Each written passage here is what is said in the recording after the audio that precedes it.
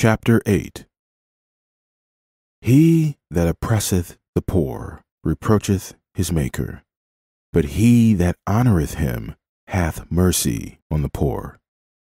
Proverbs 14:31 Solomon lay in his brushy recline at the bottom of the ravine. As the moon began to rise, he held his stomach and shivered against the memory pangs, then finally dozed off into a fitful half sleep. The misty autumn dew came in like a cruel handmaid and dropped a cold, wet blanket over his outer clothing. Uh, surely, Jachin and Boaz will find me soon. But Solomon's guards were not as near as he supposed. Upon returning to camp and finding him missing, they had first scoured the nearby area to no avail. In growing panic, they returned to camp and tried to discern the trail by which their king had left. However, they seized upon the wrong trail, one which led to the far side of the mountain, where they were even now combing the wilderness in a desperate search. Meanwhile, Solomon roused, awakened by the unexpected sound of music. Angels. The singing of angels. Or, or, just where was he anyway? He looked up at the starry sky and remembered. The Orion had moved west out of his immediate vision.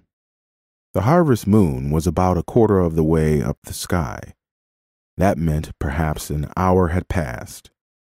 But what was that sound? Footsteps. Singing. Why, it was a woman passing not ten cubits from him. Apparently, he had fallen near a path that circled around the base of the ridge. He strained and looked around behind himself to see a dark form moving down the trail away from him, the music of her humming fading off into the night. He could see she was carrying a large basket balanced on her head. He squinted through the brush and noticed the silhouettes of some carefully placed posts and vines. A vineyard. The woman continued down the path. He thought, probably a laborer or a slave coming in late from a day of harvesting. Suddenly, there was a shout, the sound of a commotion, and the voice of an angry man down the path. Such trash as this? Look what your bleeding heart ways have brought upon us. The woman's response was soft and indiscernible. Then a child's voice broke in. Please, I did not know I was in your vineyard. I thought I was in hers. I warned you about this, shouted the man. You let one of them in, next thing you know, the whole country is overrun with them. Look at this. They're probably a becca and a half worth of grapes you have there, you scurvy little thief. Ouch! Let go of me, screamed the child. Now that's enough, Barkos, shouted the woman. Let her go. No! Who's going to pay for this?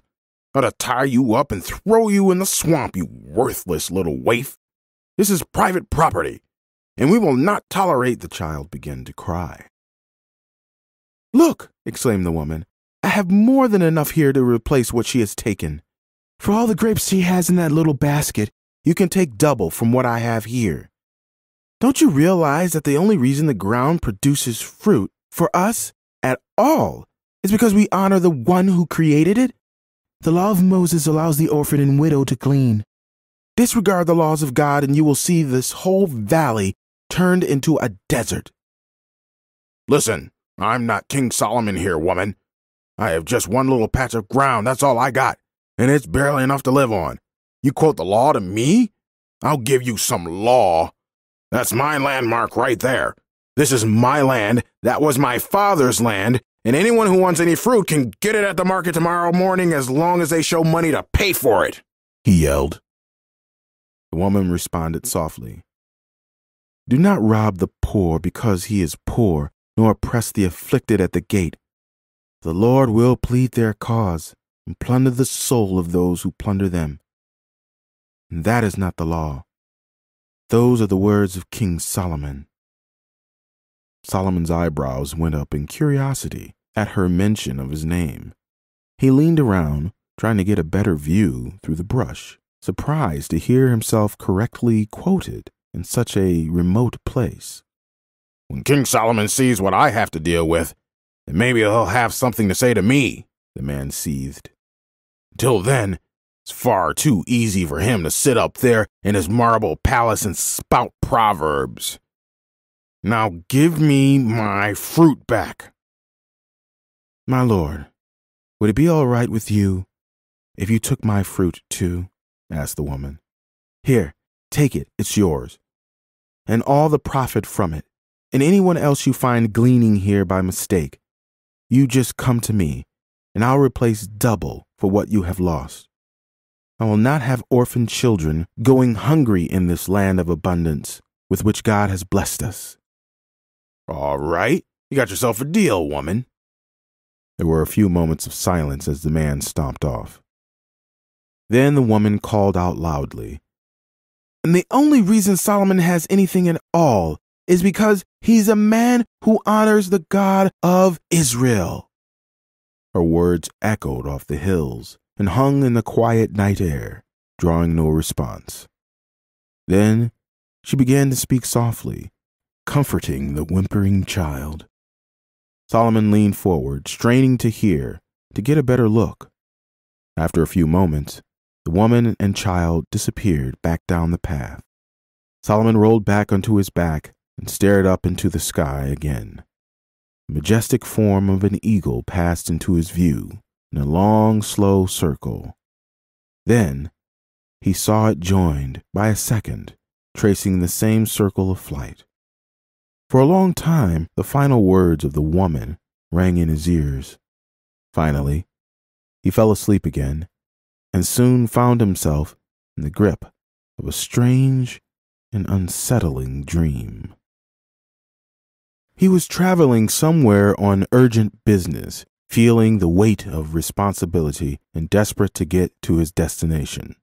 He was walking alone down a mountain road with no map to guide him. All at once, he came to a place where many roads crossed. There were no signs or markings of any kind to tell him which to take. Desperate to continue toward his destination, he knelt before the Lord and asked him which road to follow. Not receiving any discernible answer, he set out in what appeared to be the general direction he needed to go. After a short while, the road dead ended at a little provincial farm. Not even a farm, really, just a little peasant dwelling with a mud hut for a house, a couple of animal buildings, some fruit trees, and what looked like a small guest hut. He did not recognize the place. Frustrated, he hurried back to the crossroads and took another path, only to find himself arriving at the same place again, but coming at it from a different angle. The road that had existed the last time he was here was gone. He had to return by the way he had come. And so it repeated, on and on. No matter which road he took, he ended up at the same place. In growing desperation, he knelt in the middle of the crossroads again, pleading with the Lord to help him find his way. When he opened his eyes, he felt something in his hand. Looking down, he saw a scrap of paper on which he read the words, Return now to the place of beginnings, to the east. Solomon frowned at the strange words. Then he caught something out of the corner of his eye and turned to see a sign, partially obscured in the bushes by the roadside. It had been there all along, but he had not noticed it before. He rushed forward and cleared the branches away. On the sign were printed these simple words A man's heart plans his way, but the Lord directs his steps. Eventually, the dream faded into mist as the approaching morning coaxed him to consciousness. The emotions of the dream lingered in his soul, leaving a strange and ominous imprint. Solomon opened his eyes. The morning birds were in full chorus, and the nearby plants sparkled with dew. The sun was up, but not yet visible over the ridge to the east.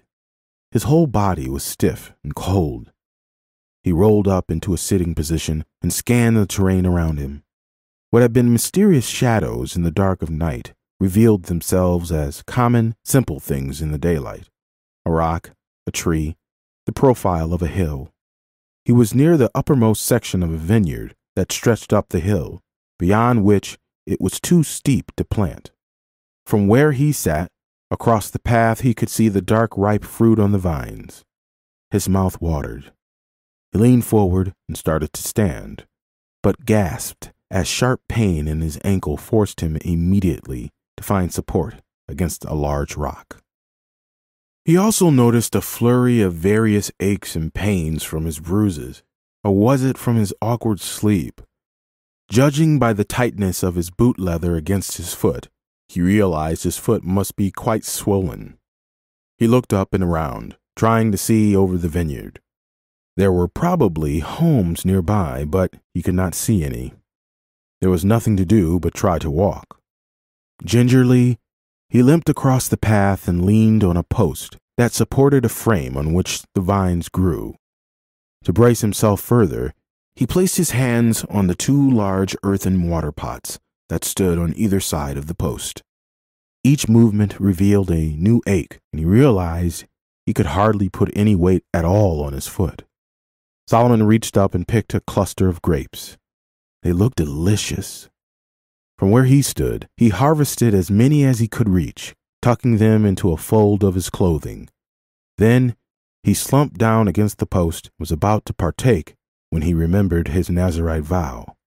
No fruit of the vine was allowed, whether fresh, dried, or in the form of wine. Solomon groaned, looking at the delicious ripe clusters, his mouth watering for them. When this is all over, ought to buy a vineyard out here. The sun was rising behind the rock and promising to burst out upon him soon. That will be nice, he thought, shivering. He limped back across the trail, then realized the rock he had been leaning on was actually the stone rim of a well. As he sat down on its edge, something caught his eye. He peered up the path to see a woman walking his way, carrying a large basket. She topped a rise and disappeared into a draw. A few moments later, he can hear her footsteps coming up the next rise toward him. She was humming, and Solomon recognized the tune he had heard the night before. Then she appeared over the rise, fully covered from head to toe in the manner of a virgin, in a plain laborer's tunic of drab gray, undyed wool. Merrily, she came marching up the path. Shalom, he said. Startled, the woman turned toward him. Shalom. He looked at her. She looked at him. Her eyes peered out of her veil, the only part of her visible to interact with. A peasant girl dressed for a day of work in the field. He stared back from under his turban. He saw her eyes travel down, scanning his appearance and clothing. He glanced down, he had been dressed for the mountains. There was nothing about his attire that would reveal royalty. You know, if you want to glean here, you may want to come up the path a bit. This is Barco's vineyard, and he allows no gleaning here, she said. So I've heard. I fell from that ridge over there and spent the night in that bush. She regarded him warily. So, you heard what happened last night? Yes, I did. And still you glean here? I'm, I'm not gleaning. I have money to pay for what I have taken. She looked him over again, scanning his clothing. It was torn and dirty, damp with dew. With his unshaven face and the long stringy locks of his Nazarite vow creeping down his neck, he probably looked to her like a homeless, penniless vagabond. Well, that being the case, my lord, she said, I would just as soon have you pay me then. Please, my lord, come down the path to glean. You can pay me next time you travel this way. You are very kind, daughter, but I have no wish to buy fruit, but neither am I gleaning. I am traveling. Does not the law of Moses allow the passing traveler to pick from the fields what his hands can hold, as long as he does not collect it into any bowl or basket? The woman pursed her lips skeptically. That was the only law of Moses that drifters such as this could quote. Besides which, I do not know if I can walk, he continued. I hurt my ankle when I fell off that ridge last night. Her countenance grew serious. You are injured, my lord? Yes, but not too badly, I think. Her eyes traveled down. May I examine your ankle? He studied her thoughtfully. He did need help. If you would be so kind, you are aware if your neighbor's ox stumbles, you shall certainly not walk by. How much more a man, for it is not oxen that God is concerned about, but men. She glanced into his eyes, then set down her basket. This particular vagabond knew the law a bit better than most, and she was beginning to notice a certain polish in his speech and manners. He leaned back over the well and stretched out his legs. Then he pulled up his robe to reveal his feet, immaculately clad in long black leather boots. She stepped forward and peered at them curiously. He noticed her skeptical expression. And the hand of a thief is to be cut off, he offered, tossing out a common misquote. That is not the law of Moses. Neither am I a thief, she sighed. Well, then, whoever you are, let's have a look at that ankle. She knelt down and gently felt his ankle with her hands. He looked down at her veiled head. There was something strangely familiar about her, but he could not quite place it. Anyway, she mumbled, glancing up at him, these boots are more of a problem now. He chuckled. He also got a good look at her eyes for the first time. They were quite striking for a peasant girl, large and dark. Don't worry, I have others. And you do know my name, he said. I beg your pardon? You already said it once. Hmm? Did you not walk up here and bid me shalom a moment ago? he asked. Shalom is your name. The sense of it. What is your name? She continued, carefully feeling around his puffy ankle. Well, I've got bad news for you, my lord. You're not going to get this boot off without a knife. Your ankle is so swollen you won't possibly be able to pull it out. She eyed him, expecting to see some remorse at the destruction of the boot. A knife I have, Solomon said, reaching into his belt and producing an instrument with a beautiful blade, marble handle, gold stop, and diamond studded end cap. Spinning it expertly in his hand, he held the handle toward her. Her eyes went wide. And don't worry. As I said, I have other boots too. She gingerly took the knife out of his hand. Who are you? she asked, genuinely puzzled now. I told you my name, but you did not tell me yours. My lord, I am a virgin. If you wish to speak to me by name, you must address my father first. Who is your father? My father is dead. Well, that will keep you safely anonymous for life, he quipped. She was silent for a moment, carefully working the knife down the stitches of his boot. Was she actually trying to save the boot? Then he heard her sniff. I'm I'm sorry, he said. I didn't know you. No, it's all right, she said, calmly wiping a tear from her cheek. It was a long time ago. I'm the only one of my mother. So that's how a peasant girl comes to be the owner of such a fine vineyard. Well, technically it belongs to my brothers, half brothers. My father also had an Egyptian wife. And your mother was an Israelite? Yes.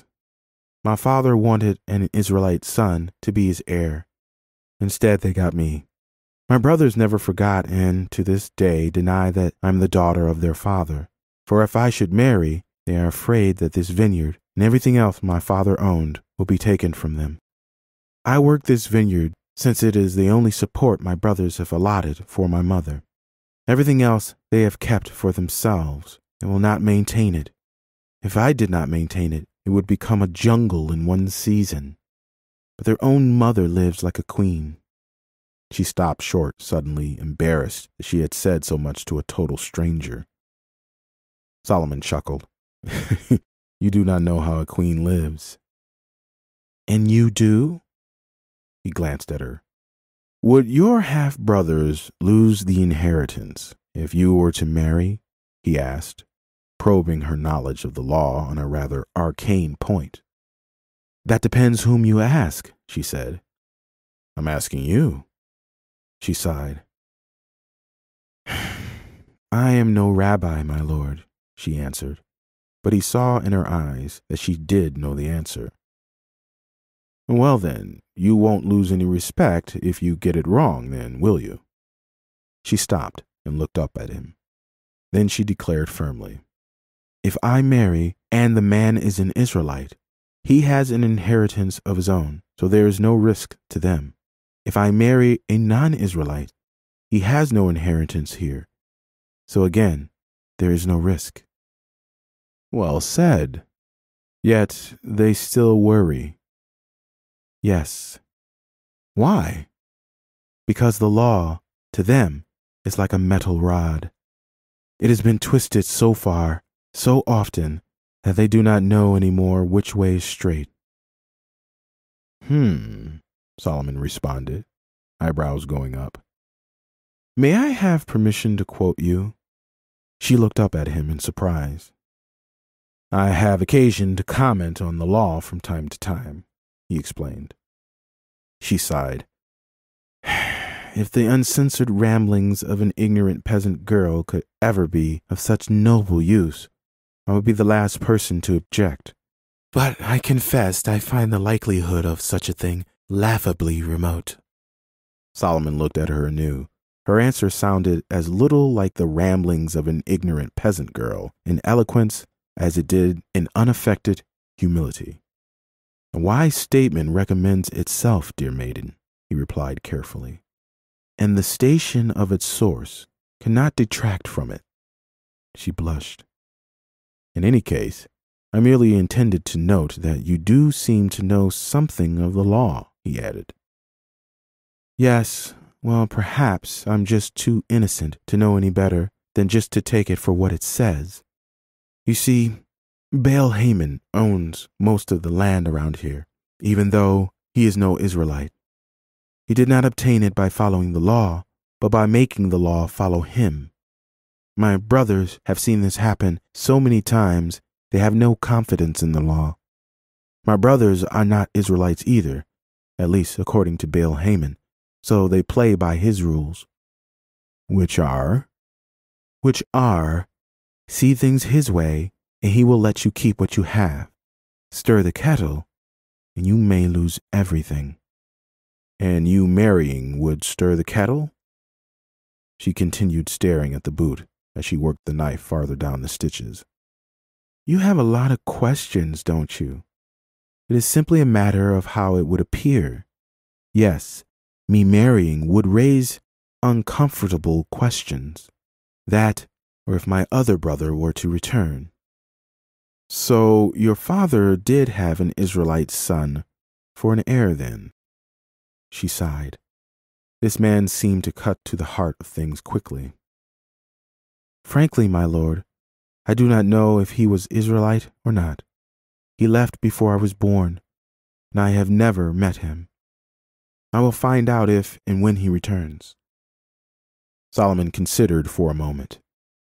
It was a most interesting situation and this simple conversation with the peasant girl was offering him a unique perspective on life in rural Israel.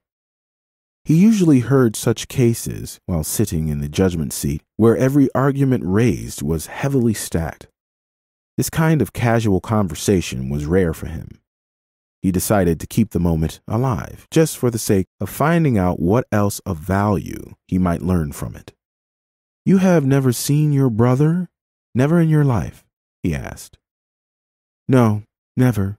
And when he comes, I have some questions for him. Solomon's mind whirled and lit on a daring idea. Well, then, ask, he blurted, not quite sure why he had just said that. She froze, looking up at him hard, as though trying to look right through him. Ah, he said, and how will you know it is he? She continued to stare at him. Solomon smiled at her. She studied his face, trying to see what it might reveal. He was well seasoned from his years on the judgment seat to reveal nothing with his face. He waited, but so did she. She was not going to speak next. Well, then, he said, am I to gather that you have lived your whole life in expectation of the return of a long lost brother, but you never stopped to consider how you would know him when you saw him? But my mother, she began, realizing right away that after so many years her mother would not recognize him either. Well, she said finally, I guess I just supposed he would introduce himself. Hmm, Solomon responded. And just how would he know you? She was silent. There is many a man who could be your brother if he were to find out there was a fine vineyard in it for him. Solomon warned. She remained quiet. He waited. Finally, she looked up firmly. I do not like this game, my lord. It seems to me that you ask me what you alone can answer. My true brother, seeking me out with honest intentions, would have the advantage of forethought. With an estate hanging in the balance, he certainly would have foreseen this moment and would come with proof. The onus is on you, my lord. If you are truly my brother, you tell me, how do I know it? Solomon hesitated in a rare moment of indecision. It was the perfect answer. She held his gaze in silence, then returned to working on the boot. Solomon's mind sped ahead, trying to locate an answer quickly. If, in fact, he were her brother, and knew where to come to find her, he would also know other things, things about her, perhaps some family secrets, things that could prove his identity to her. This little peasant girl had all but broken his ruse in a moment. He inhaled to speak, but then yelped in pain as the boot suddenly slipped off his foot with a lurch. The woman looked up to see him grimacing, his pupils dilating with the pain, eyes tearing up. Yet he cried out only the once. She winced as well to see him suffering, though he now displayed immense control, not a common trait in a beggar. My lord, I'm afraid your ankle is broken, she said. Solomon nodded vigorously in agreement. Then a thin line of blood appeared on his ankle where the seam of the boot had been. Soon it flowed freely down his leg and off his foot. Oh, my soul, the woman cried. Look what I have done. I'm so sorry I've cut you. Oh, I'm so clumsy. She began to cry, looking all around for a cloth or something, anything, to use on the wound. Forgive my immodesty, please, she said finally as she removed the part of her veil that went over her head and bent down to wrap his foot in it. As she did, a splendid head of flowing hair, black and shiny as a raven, was released like a waterfall. Her tears dropped down onto his feet, mixing with the blood, as her hands worked quickly to get the scarf around behind the heel. Her long, wavy locks hung down onto the front of his foot, getting mixed in with the blood and tears. She bundled a shiny lock of hair into one hand and used it to wipe up the bloody mixture, quickly bringing the scarf around to the front of his foot. Then she wrapped the scarf, gently but tightly, several times around and up the ankle.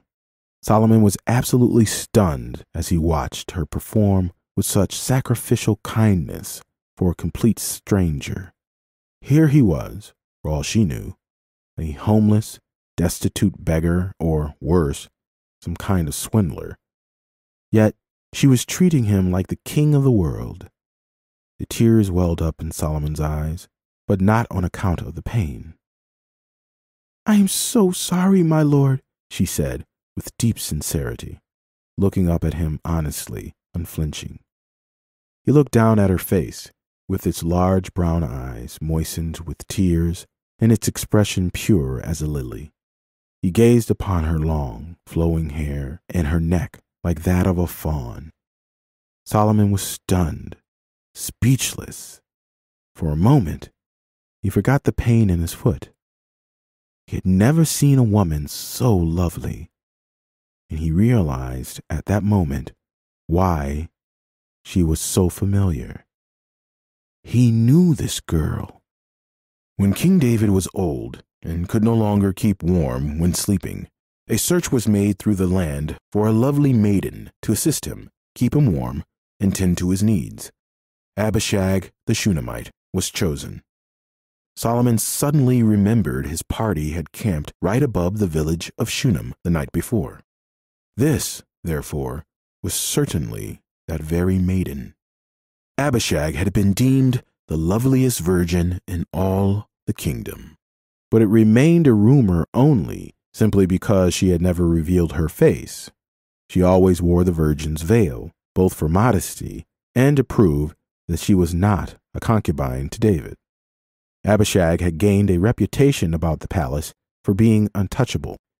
Solomon was one of the select few who had ever seen her without her face covering. That was at least five years ago, and never this directly. She would allow no man to get close to her. Only those who selected her as his father's nurse knew how lovely she truly was. Solomon was certain, without a doubt, that this was Abishag. But would she recognize him? He calculated quickly. She had certainly seen him before, but that would have been when he was barely more than a boy and beardless. He would have gained at least four inches in height since then, and a fair amount of weight. He and Abishag had seldom been in close proximity, and even then, all the attention would have been on his father. He was certain she had never seen him out of his royal attire, and certainly never with long hair. Slowly, he pulled back the turban that had been partially covering his face against the night mist. She continued to look at him, frowning just a touch, but saying nothing. Daughter, he said softly, your apology is accepted, and your kindness is beyond measure. But it is really I who ought to be apologizing to you. I wanted to make sure it was you with whom I was speaking. And that is why I questioned you so. I meant no harm. My lord? she asked. Suddenly, Solomon said something surprising, even to himself. I have been to Jerusalem in search of you. I had expected to find you there, but you were not found. This was the only other place I knew to come. Certain things were told me as a lad your name, where my family was, where I might find you. And when you worked in the king's employ, the word reached my ears, and I went there in search of you. What was he doing? It was as though he were hearing someone else speak. Her eyes narrowed. How do you know that? No one here knows that it was I, and only those in the king's house would have my name. Have you been to the king's house? I have. When I came to Jerusalem in search of you, they confirmed to me that you were alive. If I could speak your name to you, would you find it convincing? Say it, she breathed, her eyes wide with wonder. Abishag. Yes, she whispered. For a maiden who had worn the virgin's veil since the first blush of womanhood, it was unprecedented for her to meet a stranger who could look at her face and declare to her her name. But still, his story did not make complete sense. It did not explain why he, if he were indeed her brother, would have known to look for her at the king's house. Her name had not been published. She frowned. I do not understand. He also knew his story did not entirely add up, but he had certainly gained her attention. What to do now? He had waded in quite far, more so, in fact, than he had originally intended to, and he was not quite sure why. But he also felt compelled to continue just a bit farther. Then he would reveal his identity. He looked down at her. Daughter, I'm sorry if I've confused you, but certainly you would agree that, at the very least, we have some things to talk about. But at the moment, I am quite weary from an uncomfortable night, and if you please, I need to get somewhere where I can obtain care. Could you please go for help? A donkey would suffice. My lord, I have no donkey, but my home, and that of my mother, is not far from here. Whether you are my brother or not, I will be honored to serve you there, if you can but walk a short space, and then, after you have rested, we will talk. Solomon smiled. She smiled back. With your assistance, I can travel. Here, help me up, he said, reaching up with his hands. Yes, yes, of course, she said. She took him by the arm. Carefully, he pulled himself up on his good leg, putting his arm around her shoulder. Together, they turned and faced the path. Then, slowly, they began working their way down the hill in the direction from which she had come. It was difficult going at first, and they had to keep the motion of their feet synchronized to make any good progress. Solomon winced in pain several times when their steps became disorganized, and he briefly put weight onto his broken foot. But after a while, they found the necessary harmony. There was not a lot of room for conversation in this awkward trip, but Solomon, in spite of his discomfort, could not help but notice the ravishing beauty of the woman by his side. She was truly stunning. He was certain no man had ever walked so closely with her for such a distance, and only under circumstances such as these would it ever be possible. The richest, most powerful man in the world found himself feeling lucky to be here. No amount of money could have bought these affections from Abishag. They were not for sale. Eventually, Solomon requested a moment to rest, and as they stood in the path, she supporting him, a man came upon them from behind. Shalom, Barkos, Abishag called out. Did you do well at the market this morning? Well enough, he said curtly, looking curiously back and forth between the odd stranger and Abishag, with part of her veil missing. What is going on here? Oh, yes, yes, of course, she said, remembering the need for introductions. Barkos, this is, this is, um. I am her brother, Solomon broke in. She looked up at him searchingly. Brother? Barkos asked. Since when did you get another brother? Or should I say, a brother? He jabbed, devilishly.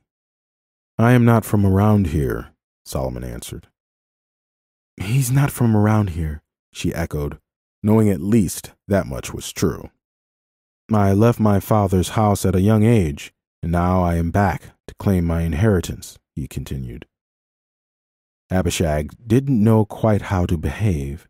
She did not want to deny his story, but neither could she affirm it, so she just stood by, looking nervously. The man snorted. Well, brother, he said mockingly, I know a few other brothers who might have something to say about that. That will be addressed at the proper time, but if you don't mind, my lord, we need to get home. Hey, hey, don't stop on my account, he said gruffly. I got things to do here, too. He tromped on down the trail.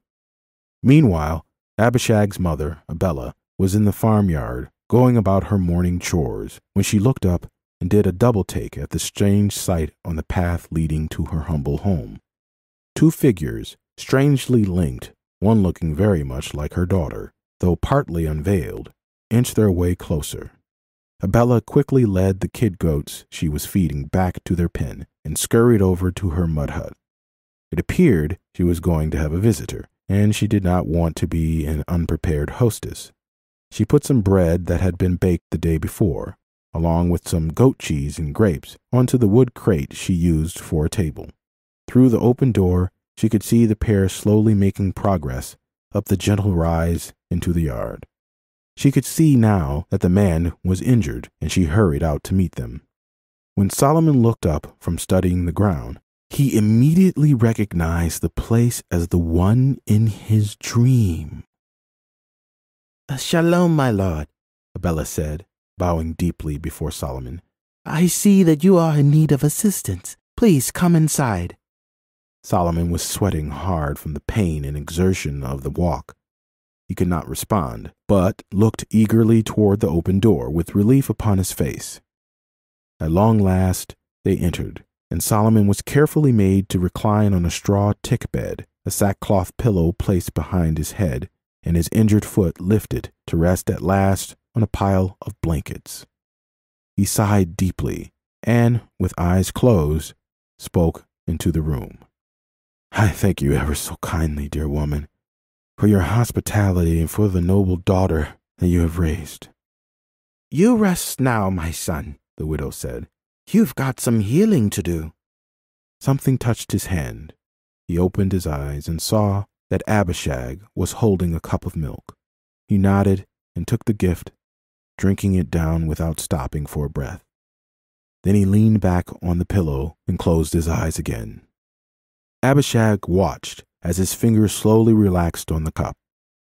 Just after he released it, but in the moment before it dropped, she deftly took it from his hand. Immediately, his breathing grew deep and steady. Abishag crossed the room and stood before her mother, who looked up curiously. Mother, she whispered, do you know who this is? Who, who it is? Why, no. Do you? Look at him. I mean, really, look at him. Abella looked her guest over, up, down, face and clothing. Abishag watched her mother closely, her own face pensive with excitement. Abishag, Abella said finally, what do you see? Abishag proceeded to tell her about everything that had happened, watching her mother's eyes grow wide when she told the part about him claiming to be her brother.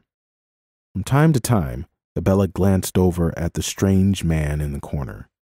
Tell me, mother, the truth. Tell me about your other son. Tell me about my brother. What happened back then? How would we know him now if he were to come to us? So that was it. The widow stared at her daughter in curious silence, then took a deep breath and walked over to the open doorway, staring out as if searching for something a great distance off. Abishag, I have never spoken with you about this out of respect for your father and for your brothers who are living. But now it appears the time has come. Your brother is not an Israelite. Before I was married to your father, I had another husband who died, a Phoenician. Mother? Abishag broke in. Yes, yes, you see, in those days we did not live here in Shunem. My family grew up in the land, the tribe of Naphtali, to the north which borders what is now the land of Tyre. We were not a rich family, but my father worked the land. We survived, but with not much to spare. Then a famine came upon us, and my father fell into debt to a rich man, a craftsman from across the border in Tyre. In order to recover his money, he was going to take our family's land. In those days, you understand, the land was sacred, and the landmarks were still respected. My father would have sooner given the man his own two hands than to give up the inheritance of the Lord to a foreigner. So the man gave him another option the hand of his daughter in marriage as full payment. Oh, he sold you out, Abishag gasped. No, daughter, he did not. Nor did he force me. I volunteered to go. The land of my family was all that we had. If I did not go, the loss would not just be mine, but my brothers would lose their inheritance forever. I had to go. The man was old, older than my father. I promised my father that when he died, I would come back to Israel and find a husband from among my own people, if possible, be buried here in the land of promise. She stopped speaking, staring out into space, lost in memories. What happened then? Hmm. Oh, yes, well, in the course of time I became pregnant and gave him a son in his old age. He knew of the promise that I had made to my father to return home, so he required that I make a promise to him that his son would be raised in his own land. The boy was still very young when his father died, but his father was wealthy, had left an estate for him, and had paid for his career. He was to be trained as a craftsman like his father, even from his tender youth. Had contacts who informed me of his progress for a time. He proved himself talented and became successful in the trade, as expected. I have not heard of him for many years now. But if he carried any measure of his father's talents, he very likely became a great man in his field. That would explain his wealth, Abishag whispered to herself, remembering the fine boots and the expensive blade. Oh, certainly, the widow said. There's every reason to expect his wealth would be great. Mother, Abishag said, leaning forward seriously, what is his name? His name? The woman chuckled. The name is not how you will know him, for his name is common. You must ask his father's name. And what is that? Fakir Bashar Khalid, she declared, saying it reverently, as if it were an incantation. Fakir Bashar Khalid, Abishag repeated searching for a way to remember the regal sounding name. The two women looked back at their guest, still motionless in the corner, and silently considered the unique moment. Well, then that explains, Abishag said, her mind putting things together. If he is the son of a prince, that explains his access to the king's courts, why he would have had contacts there where he could have heard about me and asked about me. The older woman nodded. Yes, I suppose it does. But what it does not explain is how did he know your name, having been born before you? Hmm, Abishag replied, not finding an easy answer to this. Neither did Solomon, who, it turned out, had been listening intently to every word. The Tyrian's name sounded faintly familiar to him, where had he heard it before? His mind began tracing the royal genealogies he had memorized for the kingdom north of Israel. Where was that name found? It would come to him, he knew. The situation was most interesting. With this new information, he believed he could continue with the role, if he so chose, or he could demonstrate all the necessary knowledge. But it raised another problem. It meant that his character was not an Israelite, at least not fully so, and had no right to claim an inheritance, and more than that, no need for one. Abishag, Abella continued, now that I have told you all of this, it is time to tell you something else. When my Tyrian husband died, I returned to Israel to marry again. I did not know until months later that the Lord had placed a second child in my womb. You lost him? Abella smiled. No, I still have her. Abishag's mouth dropped open. I did not tell you because you were already so disrespected by your brothers. Since they were only half Israelite, I wanted you to have the advantage of being considered a full Israelite. But no, you are of that Tyrian father. Solomon listened, but at the same time his mind probed the other question, the one he could not quite answer, not even to himself. The question of why. Why was he doing this? As mother and daughter continued to talk things over, his mind wandered. He thought about Hava and the great tragedy that had become of her. He thought of the kings of Egypt and Ammon and the wives they had sent him, he thought about the daughters of Jerusalem and how they continually fawned over him so. He thought of his need for a queen and an heir to the kingdom and the stark vacancy left by Hava's fall. For as long as he could remember, his future queen had been known to him. It was a given in life, just like the fact that he would one day be king. Now he was suddenly in desperate need of a queen. Solomon had found himself totally unprepared for such a surprising turn of events. How does one go about finding a queen when she who has been chosen for you is disqualified? Well, I suppose you must fill the position wisely, just like any other position in your kingdom. What kind of woman makes a good queen? Then he considered Abishag, her beauty, her nobility, and her chastity. She was a unique person, at the very least. He also became aware that for a short time he had spent with her, the blanket of sorrow which threatened to consume him had lifted. Even the soft rhythm of her voice across the room right now was soothing to his ears. She had treated him like a king, even though she did not know he was one. Could this peasant girl be queen material? He turned the thought over in his mind. But then, the revelation about her birth, she was not fully Israelite. How could it be possible that the Lord desired him to take a Gentile bride as queen? It was a most surprising thought, but under the circumstances, you could not dismiss it. It was clear the Lord had led him here for some reason. Aside from the question of her ethnicity, how could he determine Abishag's fitness for the role? It would require careful consideration. It would require talking with her, not just knowing about her, but knowing her heart as well. That would take time and careful observation. Given the chance to examine her, he knew he would be able to determine if she was really as special as she seemed. And what then if she was? What if she was? Solomon knew if he, as king, asked her to marry him, she would certainly not deny him. No maiden in the kingdom would. But would she marry him if he were not king?